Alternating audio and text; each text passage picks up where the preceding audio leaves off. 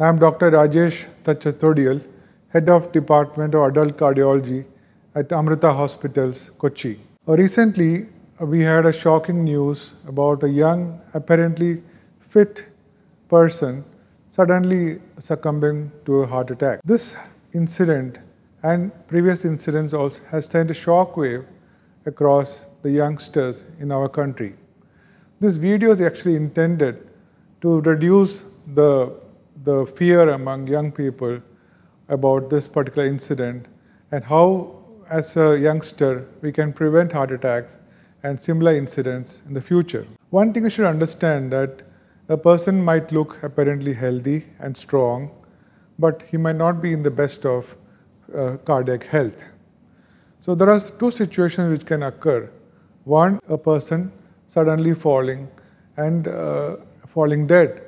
And second thing, a person developing a heart attack and then succumbing to the heart attack. There are two different things which I need to clear in this video. There are some conditions which are inherited, which are, uh, we call it genetically uh, acquired conditions, which predispose a person, young person, to uh, sudden cardiac arrest. So these, these conditions are, could be an abnormality in the heart muscle, like we call it hypertrophic cardiomyopathy, where the heart muscle becomes thick in people for some unknown reasons. This is a genetically acquired condition. There are other conditions like uh, long QT, other conditions which can predispose a young person to suddenly developing cardiac arrest. The second situation is a person developing a heart attack. This happens during intense physical activity or a person who is not accustomed to regular exercise, suddenly when he exercises one fine day, he develops a heart attack. So these two situations are which predispose a person to suddenly falling a victim of sudden cardiac death. Now, how do we, how as a youngster, how can we prevent these uh, situations? How can we stay healthy? Nowadays, we are finding a situation, we are seeing situations where very young people, as young as 30 or 40 years, coming to, to the emergency room with heart attacks. The reason for this is the lifestyle of these people have changed. Many people are, uh, uh, leading a sedentary lifestyle. They are not regular, used to regular exercise. They have multiple risk factors which, which goes unrecognized, like family history of heart disease, high blood pressure and diabetes, and cholesterol. Many of them don't even test their blood, uh, blood sugars or cholesterol and then when these people engage in vigorous physical activity without having a proper cardiac checkup, then this situation can happen where the person during intense workout develops a heart attack. Heart attack happens because there are some minor blockages in, in the coronary arteries and when this arteries are exposed to extreme physical stress, this, the, the blocks inside, we call it plaques, it ruptures and that causes the complete occlusion, a complete stoppage of blood supply to a particular artery and this results in heart attack.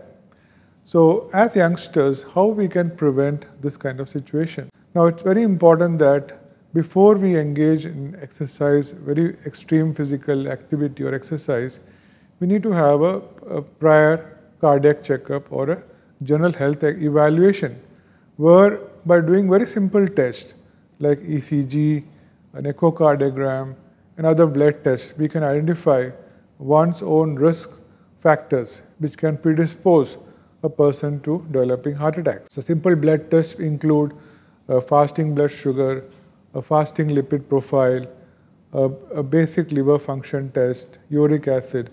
These tests will identify whether a person has high cholesterol or not. Similarly, when you go to a doctor, you can have your blood pressure examined, and this will tell you whether you, have, whether you have normal blood pressure or high blood pressure. Very simple test. And nowadays, blood pressures can be estima estimated at home itself with this automated digital blood pressure apparatuses. And so, with this uh, simple test, like an ECG also, ECG is a very important test. Basically, tells you whether you have a rhythm problem or you have previously had a heart attack. So with this ECG and then doing a test called echocardiogram. Echocardiogram is a simple ultrasound of the heart. It tells you whether you have heart muscles are normal, whether they are thickened, or there is, uh, you have had a previous heart attack. So this simple test which doesn't cost much and is readily available in most of the centers, this test can actually determine whether you have high cholesterol or uh, and uh, blood pressure and similarly whether you have a inherited heart condition which can predispose to developing sudden cardiac death or heart attack. Similarly, uh, after doing this test, if person is fit enough, you can do a treadmill test. And if a person has multiple risk factors like high blood sugar, a strong family history of heart disease, where young uh, family members have succumbed to heart attacks at a very young age, or they've had a procedure like angioplasty or bypass surgery at a very young age, people have multiple risk factors can also benefit from a test called a cardiac CT scan. A cardiac CT scan is a simple uh, CT scanner. It's a very advanced scanner in the sense that it rotates very fast and the radiation exposure is very limited, very negligible in these uh, CT scanners. A person can just lie down on the machine and there are two aspects to the CT scan. One is it uh, before we inject contrast, it tells you the calcium deposit in the blood vessels. Some people have very high calcium uh, deposit in the blood vessels we do a test uh, quantification by doing what is called a calcium scoring. And people with very high calcium scoring are predisposed to developing heart attacks. Similarly, the second part of this CT exam is actually injecting contrast and looking at the inner blood vessels, heart, uh, coronary arteries. They're looking at the wall of the coronary arteries and seeing whether there are some plaques which can predispose to developing heart attacks.